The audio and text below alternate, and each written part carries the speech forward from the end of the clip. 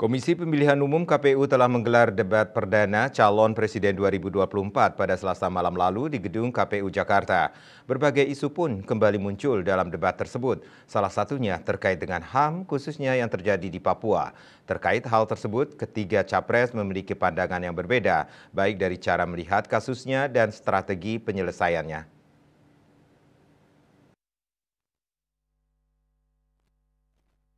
Untuk duduk kembali. Debat perdana calon presiden 2024 sukses digelar Komisi Pemilihan Umum RI pada Selasa malam 12 Desember 2023 di Gedung KPU Jakarta. Berbagai ide dan gagasan pun disampaikan oleh para capres pada debat yang mengusung tema hukum, HAM, pemerintahan, pemberantasan korupsi, dan penguatan demokrasi. Berbagai isu juga kembali mewarnai debat perdana kali ini. Salah satunya terkait dengan permasalahan HAM, khususnya yang terjadi di Papua saat ini. Ketiga capres pun menyampaikan pandangan dan strategi yang berbeda terkait hal itu. Capres nomor urut 2 Prabowo Subianto berpendapat masalah Papua merupakan permasalahan yang rumit karena di wilayah tersebut terjadi gerakan separatisme. Selain itu, masalah Papua menurut Prabowo juga terdapat campur tangan asing yang ingin Indonesia mengalami disintegrasi dan perpecahan. Penyelesaian masalah HAM di Papua menurut Prabowo tidak sesederhana yang dibayangkan banyak orang. Namun begitu, Prabowo menegaskan komitmennya untuk melanjutkan kebijakan Presiden Jokowi, termasuk membawa kemajuan ekonomi, sosial, dan layanan yang terbaik bagi masyarakat Papua, dan tentunya penegakan HAM. Sementara Capres nomor urut 3 Ganjar Pranowo melihat permasalahan HAM di Papua terjadi karena kurangnya komunikasi di antara pihak-pihak yang bertikai. Untuk itu, Ganjar menawarkan solusi melalui jalan dialog yang melibatkan semua komponen masyarakat Papua untuk duduk bersama dan mencari jalan keluar. Dan Prabowo pun setuju dengan pendapat Ganjar tersebut. Berbeda dengan Prabowo dan Ganjar, Capres menurut satu Anies Baswedan menilai permasalahan HAM di Papua dikarenakan tidak adanya keadilan. Untuk itu Anies memandang pentingnya menghadirkan rasa keadilan khususnya bagi masyarakat Papua. Uh, masalah Papua adalah rumit karena di situ terjadi suatu gerakan separatisme. Dan uh, gerakan separatisme ini kita sudah ikuti cukup lama.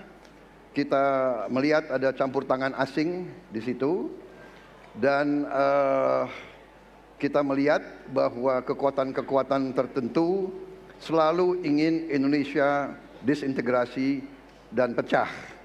Untuk itu uh, memang masalah hak asasi manusia itu menjadi sesuatu yang harus kita utamakan dan di antaranya juga kita harus lindungi seluruh rakyat Papua karena di situ kelompok kelompok teroris sekarang itu menyerang orang-orang Papua sendiri rakyat yang tidak berdosa, perempuan, orang tua, anak kecil yang tidak bersenjata diteror oleh uh, kelompok teroris separatis ini. Jadi uh, rencana saya pertama adalah tentunya menegakkan hukum, memperkuat aparat-aparat di situ dan juga mempercepat pembangunan ekonomi. Jadi, yang saya katakan saya akan lanjutkan kita harus membawa uh, kemajuan ekonomi sosial services yang terbaik untuk rakyat Papua, melindungi rakyat Papua dari keganasan para separatis dan teroris dan menjamin penegakan hak asasi manusia. Terima kasih. Terima kasih, tapi menurut saya rasanya tidak cukup Pak Prabowo. Karena dialog menurut saya menjadi sesuatu yang penting agar seluruh kekuatan yang ada di sana, seluruh kelompok yang ada di sana bisa duduk bersama untuk menyelesaikan itu. Itu menurut saya roots masalahnya. Pertanyaan saya simpel saja. Apakah Bapak setuju dengan model dialog yang saya tawarkan itu? Terima kasih. Saya setuju. Terima kasih. Karena ketika bicara kekerasan di Jakarta aja ada tiga pandangan. Ada yang menganggap ini terorisme, ada yang menganggap ini separatisme, ada yang menganggap ini kriminal. Di kita aja di Jakarta ada perbedaan pandangan. Apa masalah utamanya? Masalah utamanya adalah tiadanya keadilan di tanah Papua. Itu masalah utama. Oke? Okay? Jadi tujuannya bukan semata-mata tentang mentiadakan kekerasan.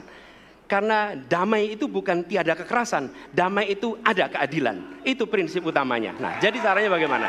Satu, atas semua peristiwa pelanggaran HAM yang terjadi dilakukan tindakan penyelesaian hingga tuntas. Oke. Yang kedua, mencegah terjadinya pengulangan dengan memastikan semua yang bekerja di Papua memahami bahwa yang harus dihadirkan bukan tidak ada kekerasan tapi keadilan. Yang ketiga, melakukan dialog dengan semua secara kooperatif. Terima kasih. Baik, terima kasih. Terima kasih. Dan selanjutnya kami persilakan kembali kepada calon presiden nomor urut 2 untuk merespon tanggapan dari kedua calon presiden lainnya dan waktu Anda satu menit Bapak dimulai dari sekarang. Benar, saya sangat setuju. Kita harus ada pendekatan dialog. Benar, ya. Dan saya juga setuju. Harus Eh, tunggu dulu, aku mau jawab.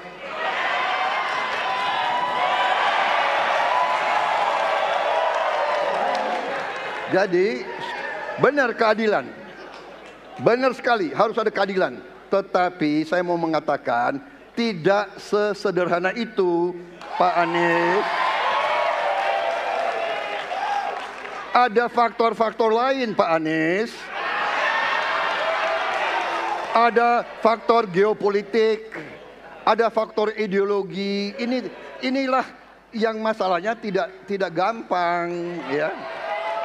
Tetapi saya pendapat kita harus tegakkan keadilan. Kita harus dialog. Ini masalah bangsa. Ini harus kita semua kekuatan harus kita rangkul. Baik, waktu habis. Selama debat berlangsung kurang lebih dua jam, terlihat capres nomor urut 2 Prabowo Subianto sedikit lebih bersemangat dan lebih emosional dibandingkan dengan kedua capres lainnya.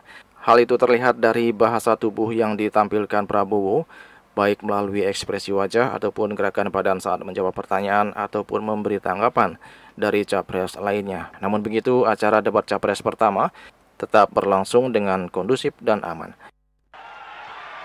Para tenang, Bapak Prabowo. Baik, para pendukung, Para tenang, kami mohon untuk pendukung. tenang, para pendukung. Para pendukung. Juli Suwarte dan Ketut Semadias melaporkan.